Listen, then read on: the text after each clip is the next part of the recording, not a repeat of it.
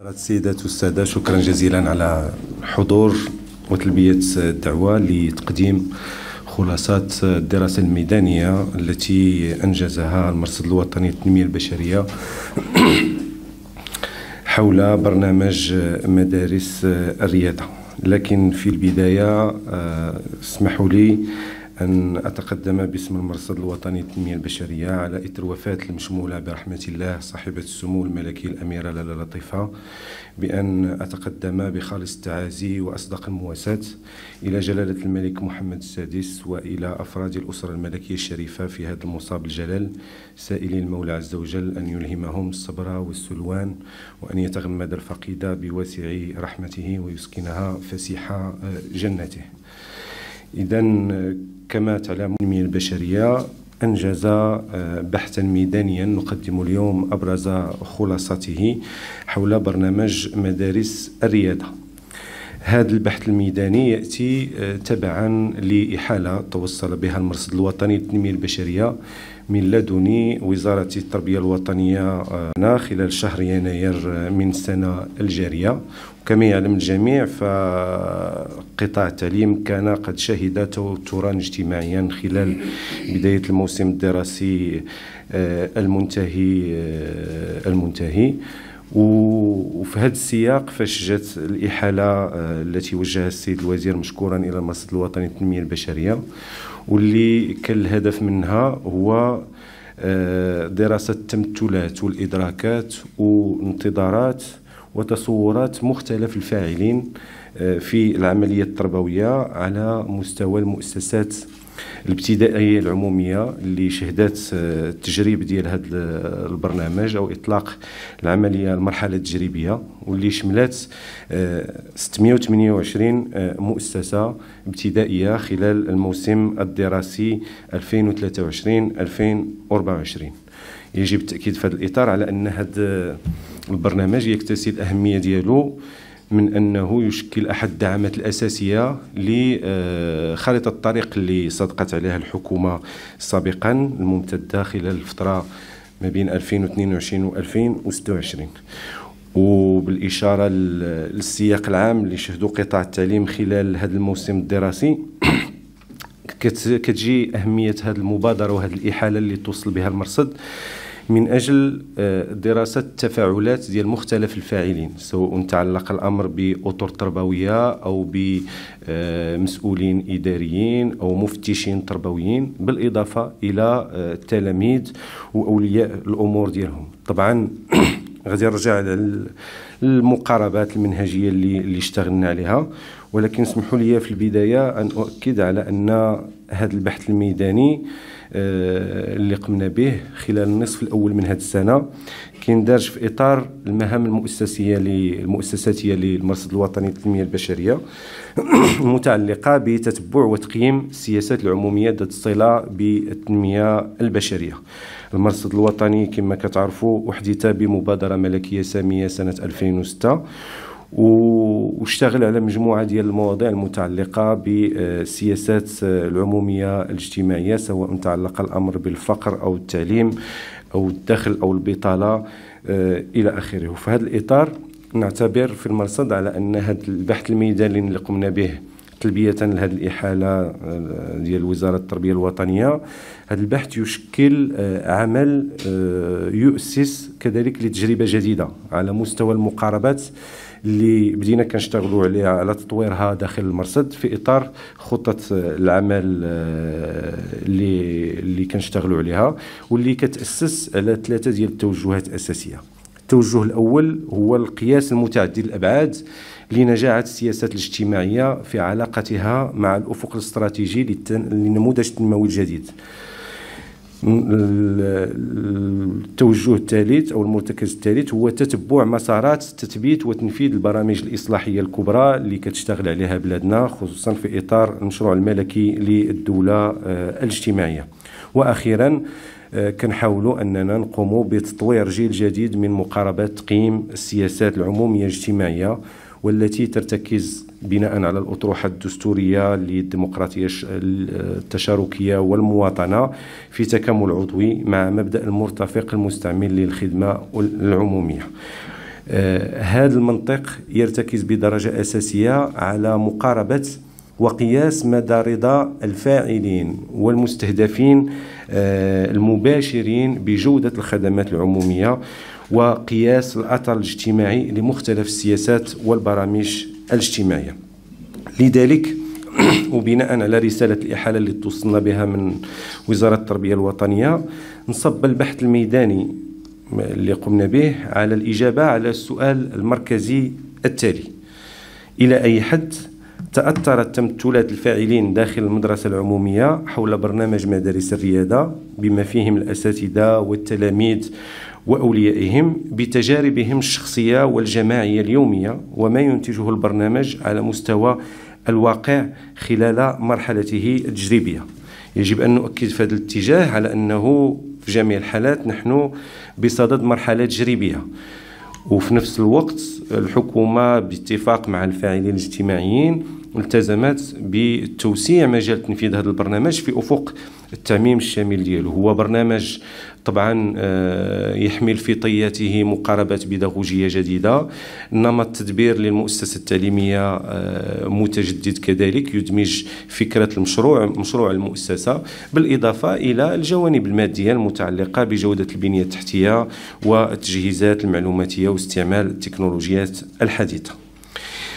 إذا للإجابة على هذا السؤال آه، تمت محاورة الفاعلين داخل عينة من عشر مدارس. تم الاختيار ديالها آه، عبر عملية قرعة أشرفت عليها لجنة مشتركة ما بين المرصد الوطني للتنمية البشرية ووزارة التربية الوطنية والتعليم الأولي والرياضة.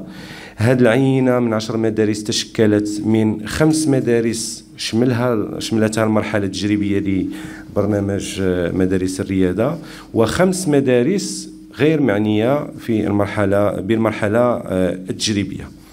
في هذا الإطار استند البحث على منهجية تقوم على ثلاث قواعد أساسية معتمدة في مناهج الدراسات والأبحاث الاجتماعية.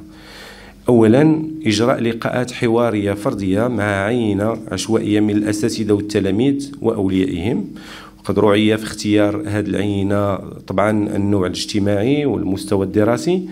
ثانيا إجراء لقاءات حوارية جماعية إرادية داخل آه، المؤسس داخل المؤسسات التعليمية المعنية مع الأساتذة من مختلف المستويات الدراسية بحضور مدير المؤسسة والمفتش التربوي المعني.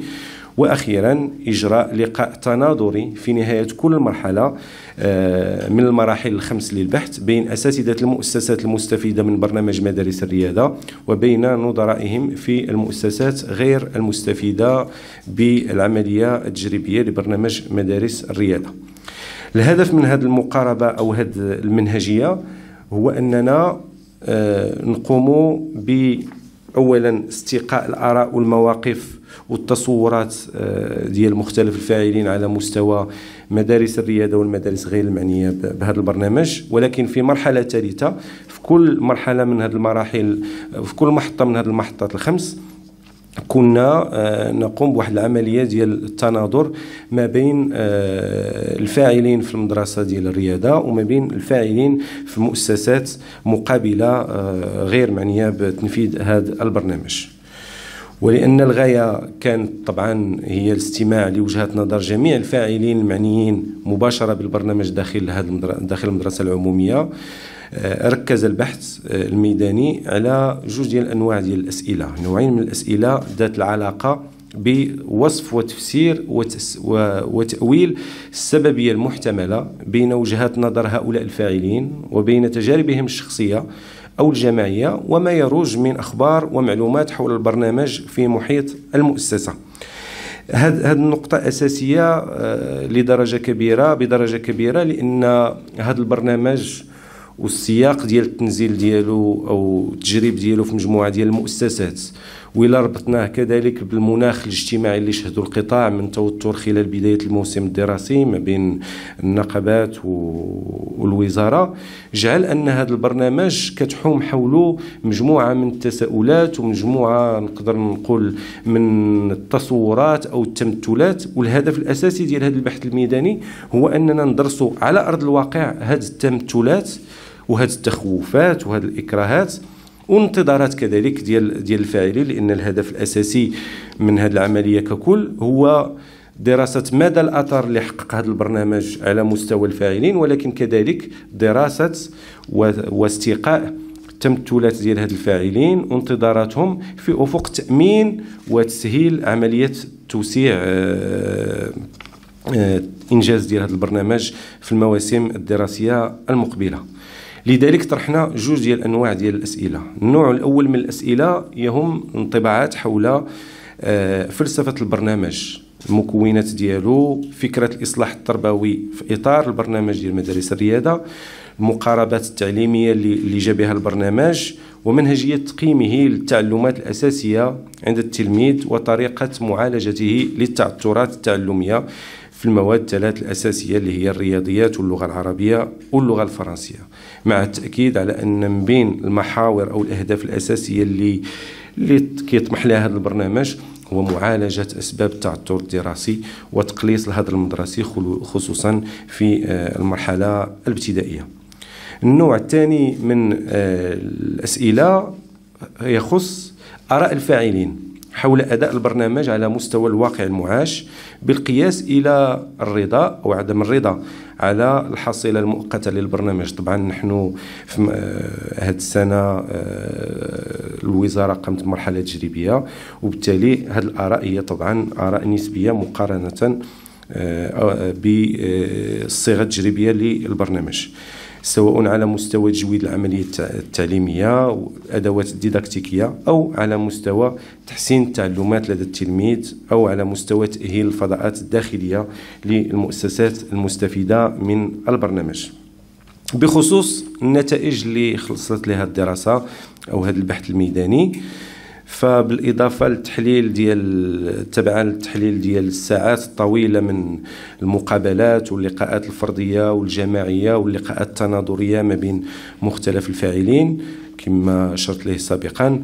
فخلصنا إلى مجموعة ديال الخلاصات الأساسية أو الاستنتاجات الأساسية. آه النتيجة الأولى هي أن المعنى الجامع للإجابات لإجابات المشاركات والمشاركين في البحث الميداني سواء تعلق الأمر بالأطر التربوية أو الإدارية التلاميذ أو أوليائهم هي أن الإصلاح التربوي قد بدأ يلج آه، قاعة الدرس.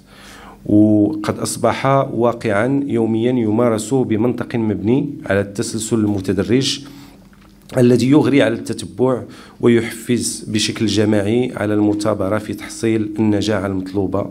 المقدرة على الوقع على الوقع التربوي الإيجابي لدى الطفل المتعلم. وهذا انعكس طبعا على مجموعة ديال المؤشرات المتعلقة بمختلف جوانب ومناحي التعلمات الأساسية للأطفال داخل هذه العينة من المدارس.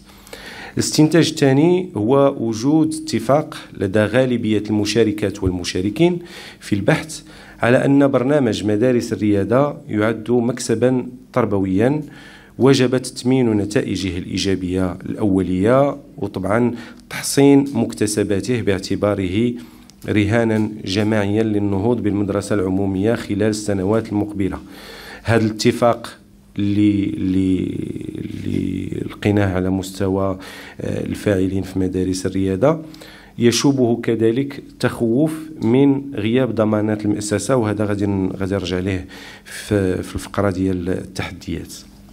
النقطة الثالثة أو الاستنتاج الثالث هو حصول وعي لدى الأطر التربوية سواء تعلق الأمر بالأساتذة أو بالمفتشين على أن القاعدة المثالية لإنجاح تحديات البرنامج تكمن في التعبئة الجماعية والقبول بضرورة الثقة في جدوى الإصلاح. وما تستلزمه هذه الثقة من تغيير ثقافي لمنظور العملية التربوية حيث أن الغاية الأسمى آه، ليست المطاوعة السلوكية للقاعدة البيداغوجية كما هي مشروطة في الدلائل التربوية التوجيهية وإنما تجسيد الأثر على عملية اكتساب المعرفة لدى التلميذ والتأكد من وجوده عبر قواعد تقييم شفافة وموضوعية ومعيارية موحدة. آه، هذه النقطة هي أساسية لأن من بين النقاط الإيجابية ديال البرنامج هو أنه خلخل نوعا ما العلاقة التراتبية أو الإدارية التقليدية اللي كانت ما بين المفتش والاساتذه على مستوى تدبير العملية التعليمية وتخلق واحد الإطار ديال التواصل ما بين الأساتذة والمفتشين وكذلك جزء من الإدارة المركزية مشكلا في القيادة ديال البرنامج واللي آه، من خلال هذه التعبئة الجماعية آه، تم التمكن من تطوير مناهج ودلائل تربوية آه، تتطور في حينه من أجل مواكبة انتظارات التلاميذ على مستوى التعلمات. رابعا السببية الموجدة للرغبة في الانخراط في إنجاح رهانات برنامج مدارس الريادة هي مركبة وتجمع بين عوامل مترابطة منها على وجه الخصوص ما تردد بشكل لافت في إجابات المساهمات والمساهمين في البحث الميداني وهي بشكل عام آه، الفضاءات اللي أصبحت آه، مغرية على الاجتهاد آه، بفضل التجهيزات والإصلاحات اللي تمت بها طريقة إدارة الدرس التي تحفز على الانخراط فيه من طرف التلاميذ. الاستماع الإيجابي للمتعلم والتفاعل البناء مع حاجيته لتحسين مهاراته ومداركه التعلمية وكذلك حصول حصل لدى التلاميذ الرغبة في المدرسة خاصة عند هؤلاء ممن لديهم تعثرات تعلمية في بعض المواد الأساسية. وبالتالي فالعملية التعلمية بشكل عام أصبحت جذابة لدى بعض الفئات من التلاميذ اللي كانوا كيعانيوا بعض الصعوبات التعلمية فيما سبق. وأخيرا هناك الإحساس بالأمان لدى الأساتذة في علاقتهم بمستلزمات المراقبة التربوية الروتينية حيث كما قلت قبل قليل هناك تحول في العلاقة آه، ما بين الأستاذ والمفتش اللي ما بقاتش فقط آه، علاقة ديال المراقبة أو التفتيش كما كيدل على ذلك التسمية النظامية لهذا الجسم. وإنما ولات علاقة ديال التعاون والبناء المشترك ديال المضامين التربوية في إطار هذا البرنامج. خامسا التركيز على تجويد وتحسين مردوديه الاكتساب. لدى التلميذ والقياس المستمر لحصول الأثر لديه على مستوى التعلمات الأساسية. هذه نقطة أساسية لأن من, من بين الأمور الجديدة اللي جابها برنامج مدارس الريادة هي أن آه، هي أن العملية التربوية أصبحت أكثر ديناميكية. وما بقاتش مرتبطة فقط بمنهاج دراسي أو مضمون تربوي جامد خلال خلال السنة بل هو يرتبط بشكل أساسي بالاحتياجات الآنية للتلميذ ومدى آه، التعثرات اللي كيعاني منها والإجابات الضرورية على تلك التعثرات. سادسا التواصل المبني على القرب وعلى التفاعل الآلي مع الحاجة للمواكبة والمعلومة سواء لدى الأستاذ أو لدى التلميذ أو لدى أوليائه. وهذا تجلى كذلك من خلال اللقاءات آه، داخل مدارس الريادة ما بين الآباء وأولياء التلاميذ والأطر التربوية والإدارية وكذلك عبر استعمال وسائل آه، التكنولوجيا في التواصل سواء تعلق الأمر بالمستوى الأفقي ما بين المدرسة والمحيط ديالها أو ما بين أو على المستوى العمودي ما بين الأساتذة وقيادة البرنامج وأطر التفتيش. سابعا كما قلت هناك استئناس بالتكنولوجيا الرقمية في التواصل بين الأستاذ والمفتش المواكب وفي إعداد وتقديم الدرس وهو ما حفز الأستاذ على تنويع أدوات الشرح واختبار مهارتي الفهم والاستيعاب لدى التلاميذ كما مكن التلميذ من التركيز أكثر على المشاركة داخل القسم. وكانوا هناك حالات رصدناهم ديال التلاميذ وتلميذات اللي كانوا عندهم صعوبات في المشاركة وفي التواصل آه، وفي المساهمة داخل القسم واللي طورت المساهمة ديالهم. وتمكنوا من تجاوز مجموعة ديال الحواجز النفسية اللي اللي كانت عندهم. وهذا طبعا بفضل الطرق البيداغوجية الجديدة المستعملة. ثامنا هناك فرق ظاهر للعيان في المزاج العام بين المدرسة المحتضنة للبرنامج وبين المدرسة التي ما تزال تعتمد المقاربة التربوية المعيارية التقليدية. موجزه أن محفزات العناية والاهتمام بالأثر التربوي على مستوى التعلمات لدى التلميذ متوفرة أكثر داخل الفئة الأولى من المدارس والمؤسسات أي مدارس الريادة مقارنة مع المؤسسات غير المعنية بالبرنامج. وأخيرا أظهرت تجربة اللقاءات التناظرية ما بين الأساتذة المشتغلين آه، في المؤسسات المحتضنة لبرنامج مدارس الريادة والمؤسسات غير المعنية بالبرنامج. أن الثقة في قدرات الأستاذ داخل برنامج مدارس الرياضة جعلت منه ميسرا وفاعلا في التغيير ومرافعا عليه داخل آه، المؤسسة التعليمية كما جعلت منه آلية ناجعة لتحسيس وتكوين الأقران.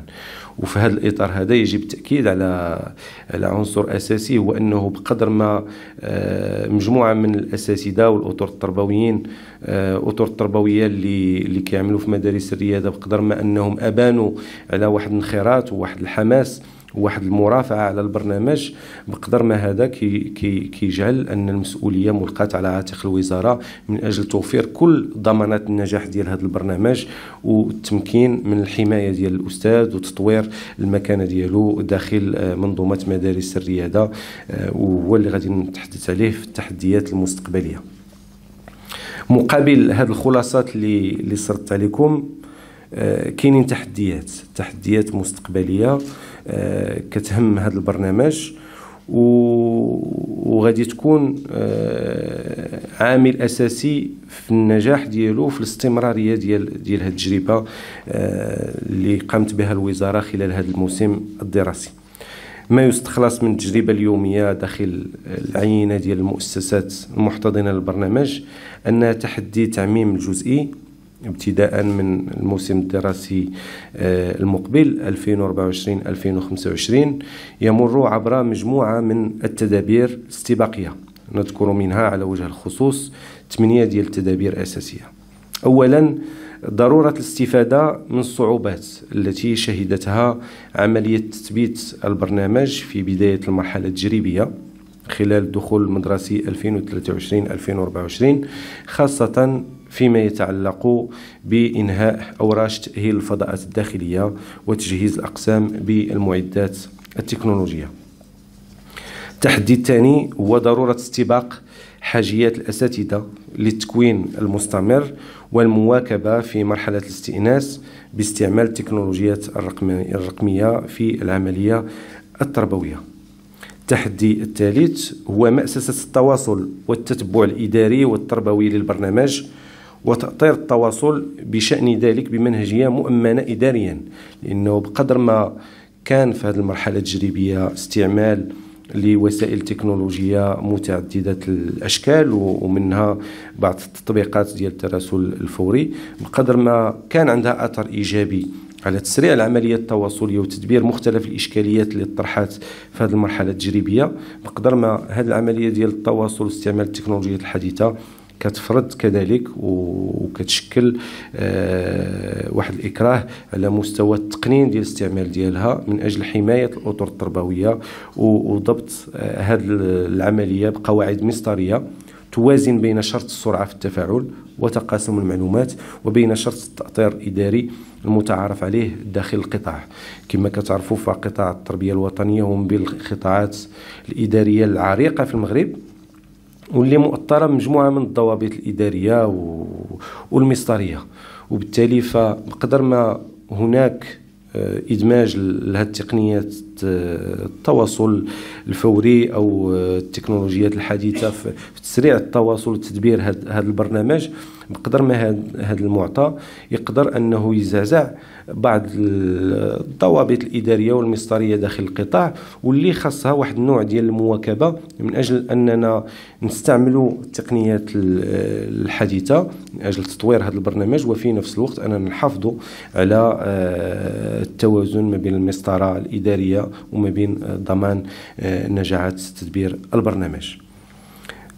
التحدي الرابع هو ضرورة تأطير مرحلة تعميم البرنامج بنظام لمؤشرات النجاعة ومراقبة مساري التنفيذ والتثبيت وفق رؤية ونظرية تغيير مشتركة يعني يعني أن مختلف الفاعلين سواء تعلق الأمر بالأطر التربوية أو الإدارية أو حتى المسؤولين على مستوى الإدارة المركزية الكل واعي بضرورة آه، إقامة آه، نظرية التغيير أساسية لأن مشروع برنامج مدارس الرياضة هو ماشي ماشي ماشي ماشي عملية سهلة ماشي آه، برنامج تربوي آه، عادي أو بديل وإنما هو فلسفة في تدبير المؤسسة آه، التعليمية بشكل عام سواء تعلق الأمر بطبيعة العلاقات ما بين الفاعلين أو طبيعة الطرق البيداغوجية ديال التدريس أو بطريقة تدبير المؤسسة وإدماج المشروع الجماعي داخل هذه المؤسسة. التحدي الخامس هو تتمين ضرورة تتمين المقاربة الجديدة المعتمدة في إعداد الدروس وتعميق البحث في درجة ملائمة التقطيع الزمني للحصص مع شرط التأكد من الوقع الإيجابي على عملية الاكتساب لدى التلميذ. وهذا وهذا التحدي آه، كيطرح آه، كيطرح آه، إشكالات من المفترض أن الوزارة تلقى لها حلول على مستوى تدبير المضامين البيداغوجيه لأنه بقدر ما جربنا في السنوات الماضية أو في العقود الماضية مجموعة من من المقاربات في تدبير المناهج التربوية بقدر ما الأداة الأساسية المستعملة في هذا البرنامج ديال مدارس الرياده وهي التدريس على حسب آه، المستوى الخاص للتلميذ كتطرح إشكالات على مستوى تدبير المضامين التربوية سواء على المستوى الوطني أو على مستوى الإقليم أو على مستوى المؤسسة بحد ذاتها وعلى مستوى التلميذ كتلميذ. يعني بطريقة ديال الوان تو وان وبالتالي فهناك تحديات كترتبط بتدبير المضامين التربوية وإعداد الدروس والتأطير ديالها من أجل ضمان تحقيق الهدف ديال آه، قياس الوقع والأثر الإيجابي على عملية الاكتساب والتعلمات لدى التلاميذ. التحدي السادس ما قبل الأخير وهو إجماع ووجود إجماع لدى الأساتذة على ضرورة انخراط الأسر وأولياء التلاميذ في البرنامج لأن من شأن ذلك أن يضاعف حظوظ نجاح المدرسة العمومية في التحكم إيجابيا في المسار التربوي للتلميذ. التحدي السابع هو وجود توجس عام لدى الأساتذة من التاثير سلبا لعمل الاكتضاد على مردودية البرنامج. وهذه الملاحظة رصدناها في مجموعة ديال المدارس اللي كانت موضوع ديال هذا البحث الميداني. آه وبالتالي فالظاهره ديال الاكتضاد المرتبطة بعوامل أخرى آه متعلقة بتدبير الموارد البشرية وبعض الإكراهات الإدارية الداخلية للوزارة. كتأثر بشكل آه، سلبي أو تقلص من أثر البرنامج على مستوى التعلمات والأهداف المنتظرة آه، من هذا البرنامج. والتحدي الأخير والثامن والأخير هو وجود مطلب لدى عامة الأطر التربوية بضرورة استدامة البرنامج عبر تأمين تواصل مستمر وتقييمات منتظمة وتفاعل سريع للإدارة الوصية مع حاجيات صيانة المعدات وتوزيع المؤسسات وتزويد المؤسسات بالإمكانيات والتجهيزات اللازمة خصوصا في المجالات القروية من أجل استباق بعض الإشكالات المتعلقة بانقطاع الكهرباء خاصة وصعوبة الولوج لشبكة الإنترنت خصوصا في المجال القروي آه، كما ذكرت وشكرا جزيلا لكم.